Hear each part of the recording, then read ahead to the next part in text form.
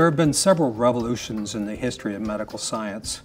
In recent years, we had the birth of biotechnology, and this was centered on uh, the science of recombinant DNA, the ability to move DNA around, to cut and splice DNA, uh, was the birth of companies like Genentech and Amgen.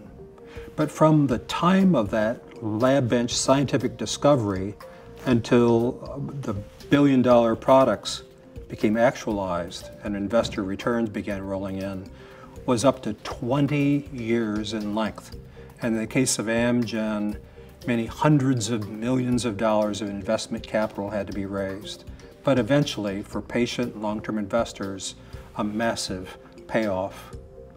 Additional revolutions occurred in platform technologies like recombinant DNA with monoclonal antibodies the ability to make uh, antibodies that recognize, like a magic bullet, different proteins on the surface of cells. And this turned out to be, maybe 20 years after their discovery, another multiple billion dollar industry.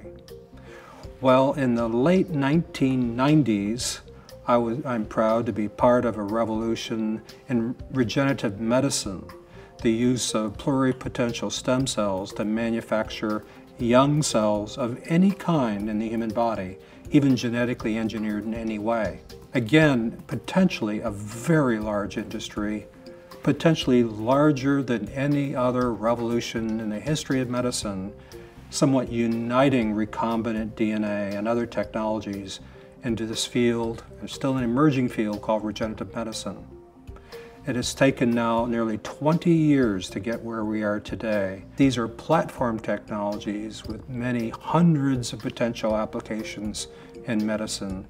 So however the business plays out, the scientific community is quite convinced that one day these new products, this entire new industry, will dramatically improve the quality of life for you and me.